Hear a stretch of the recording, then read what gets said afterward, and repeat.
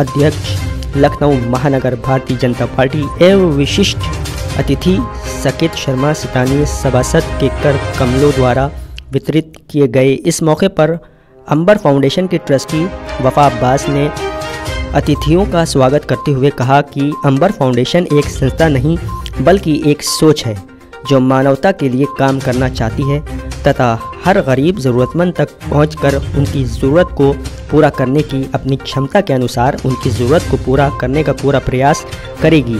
मैं धन्यवाद विज्ञापित करना चाहता हूँ। सर्वप्रथम लखनऊ के सांसद और भारत सरकार के रक्षा मंत्री माननीय राजनाथ सिंह जी का, जिनके संरक्षण और आशीर्वाद से हम इस काम को बिना किसी भेदभाव के ज़रूरतमंदों, गरीबों के दुख दर्द में उनका साथ दे पा रहे हैं। और ख़ास तौर से शुक्रिया अदा करना चाहेंगे शहाबुद्दीन कुरैशी जी रहनुमा कुरैशी साकेत जी सैयद मुजैर नकवी जी के साथ साथ अपने सभी पदाधिकारियों और सहयोगियों का, कि जिन्होंने मुझे मेरे मकसद में काम करने के लिए अपना निशुल्क सहयोग प्रदान किया है। कार्यक्रम का सफल संचालक राजधानी के चर्चित उद्देश्य आमिर मुख्तार ने लखनऊ शहर की गणमान्य हस्तियों की मौजूदगी में किया। देखिए, ये चश्मा वितरण का जो प्रोग्राम हम लोगों ने बनाया, ये इस तरह से बनाया गया कि हम लोगों ने सबसे पहले हम लोग राजनाथ सिंह जी से मिले।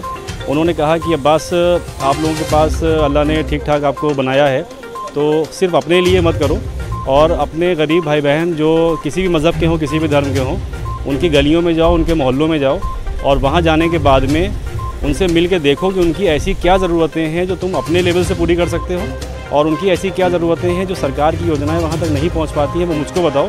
तो मैं सरकार की योजनाएँ पहुँचाने में पूरी ताकत लगाऊँगा, ताकि हमारे जो देश की गरीब जनता है, जो हमारा एक पहिया है चौथा हमारी गाड़ी का, उसके बिना देश बहुत आगे नहीं बढ़ पाएगा। तो उसको जीवन स्तर उसका ऊँचा उठाना है, उसको आगे बढ़ाना है और उसको बहुत स्पीड में दौड़ाना है, ताकि पूरा देश आगे बढ़े। तो इसी सिलसिले में जब हम लोग कई मोहल्लों में गए तो वहाँ पर एक बहुत कॉमन प्रॉब्लम आई। लोगों ने कहा कि, भाई हमारी आँखों की प्रॉब्लम है और हमारे इतना नहीं पैसा है कि हम चश्मा लगा सकें।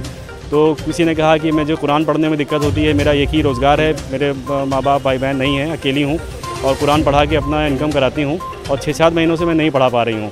तो उसको देखा, फिर कुछ लोग मिले, किसी ने कहा कि मुझे नवरात्र में रामचरित मानस गीता पढ़ने में दिक्कत आती है, मैं रामायण पाठ नहीं कर पाती हूँ। किसी ने कहा, मैं बच्चे का होमवर्क नहीं करा पाती हूँ और ये रोज़मर्रा की लाइफ ये लोग अपनी ख़राब कर रहे थे। तो हम लोगों ने एक, आपस में एक मीटिंग करी और प्लान किया, क्यों ना हम लोग चश्मे में पहला काम करें। तो अभी हम लोगों ने लखनऊ के बीस मोहल्ले छाटे हैं। जहाँ पर हम लोग पाँच हज़ार लोगों की आई टेस्टिंग करेंगे। मतलब टेस्टिंग तो ही करीब छः सात हज़ार लोगों की होगी, क्योंकि उसमें से लगभग पाँच सौ लोगों का ऑपरेशन होगा, अंदाज़ा लग रहा है हम लोगों को ऐसा। अभी तक हम लोग बत्तीस सौ लोगों की टेस्टिंग कर चुके हैं, जिसमें से पच्चीस सौ चश्मे बनने का ऑर्डर जा चुका है।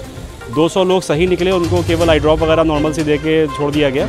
हल्की फुल्की उनके सूजन थी और करीब 200 लोग ऑपरेशन के लिए सिलेक्ट हुए हैं। ऑपरेशन हम लोग जो कराएँगे वो प्राइवेट हॉस्पिटल के साथ बातचीत चल रही है, उनसे टाइप करके, क्योंकि उसमें बड़ा हाइजीनिक सिस्टम होता है। तो वो कैंप में नहीं पॉसिबल है। तो हम लोग हॉस्पिटल को फंड कर देंगे और वो अपने हॉस्पिटल के कैंपस में ही ऑपरेशन करेंगे इसका।